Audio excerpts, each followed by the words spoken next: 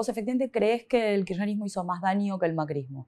Hoy lo estamos viendo en, los juicios, digamos, hoy en la vialidad, pero obviamente por razones objetivas porque, porque durante 10 años pudo montar su maquinaria.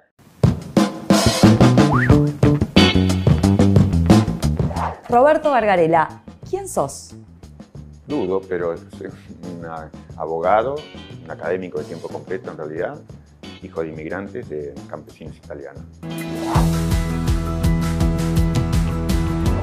¿Cuál fue tu momento épico, tu mejor gol en relación al derecho? Creo que hice algunos aportes sobre la, sobre la protesta que ayudaron a que alguna gente no fuera presa y que ayudaron a que otra gente, digamos, no fuera procesada o fuera liberada.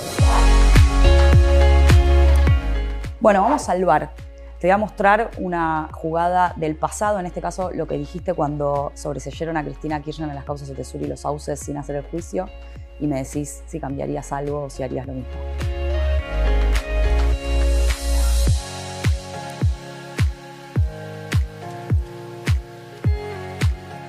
¿Cambiarías algo?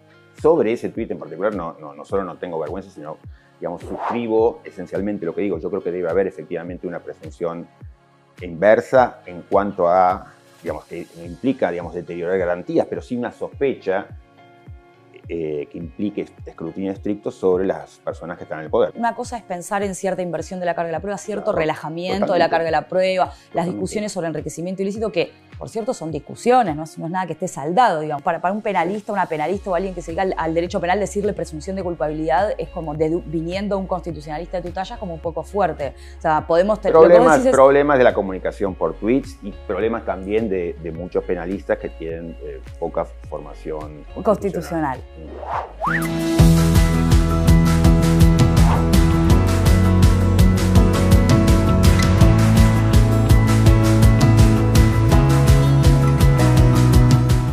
¿Cuál de los dos retuitearías? antes, antes que, que, tuitero, yo soy un académico con pensamiento crítico. Entonces, eh, posiblemente no retuitearía ninguno porque, porque me parece que ambas son reconstrucciones malas. Creo que la posición de él es mucho más interesante de la que se presenta o la que se derivó de aquellas declaraciones.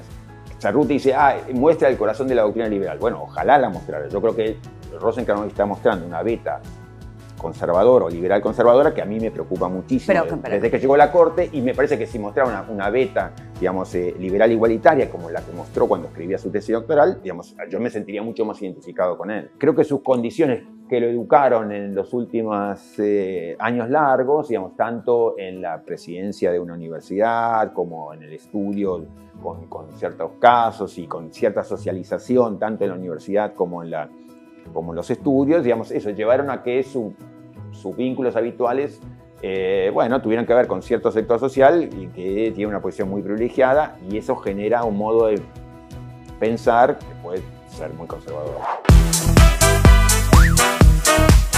¿Te jode que te digan gargorila, que te, que te tilden de antiperonista?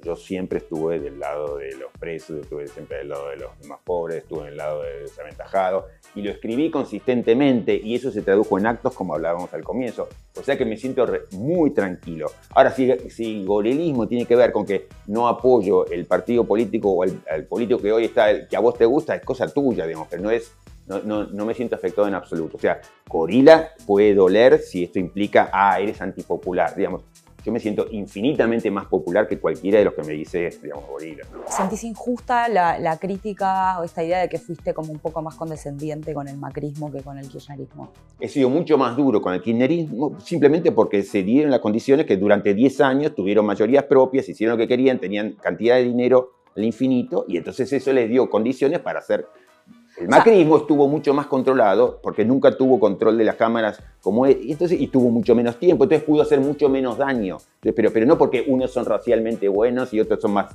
más injustos, nada que ver, son simplemente circunstancias crees esto? ¿Vos efectivamente crees que el kirchnerismo hizo más daño que el macrismo? Razones objetivas, obviamente. Hoy lo estamos viendo en, los juicios, digamos, hoy en la pero obviamente por razones objetivas porque, porque durante 10 años pudo montar su maquinaria Diez días antes de que subiera el gobierno, se armó una empresa que empezó a recibir miles de millones de dólares para hacer nada y que se terminó el día en que se fueron diciendo limpien todo y que nadie se dé cuenta de la huida echemos a los 2.000 trabajadores, no me importa en absoluto que se mueran. Digamos, lo único importante era tener esa maquinaria, tener esa estructura para recaudar. ¿Reconoces que hubo excesos en las prisiones preventivas o no? Porque una eh, cosa es un juicio con una condena, etcétera, otra cosa es privar a una persona de su libertad en el medio de un proceso sin riesgo procesal. ¿Te preocupa eso? Porque pero me preocupa muchísimo. No se te escuchó. O sea, cuando la gente dice, che, ¿dónde está Gargarela? ¿Por qué Gargarela no habla de lo mal detenido de todos los temas que le gusta a cualquiera, digamos, pero, tengo muchas cosas para decir si, alguien me pregunta qué, pienso, digamos. El gran problema allí es que las libertades de algunas personas quedaban en riesgo, digamos, serio, por eh, abusos que podía tener cometer un juez. Eso es inaceptable, pero digamos, para, para mí del minuto uno.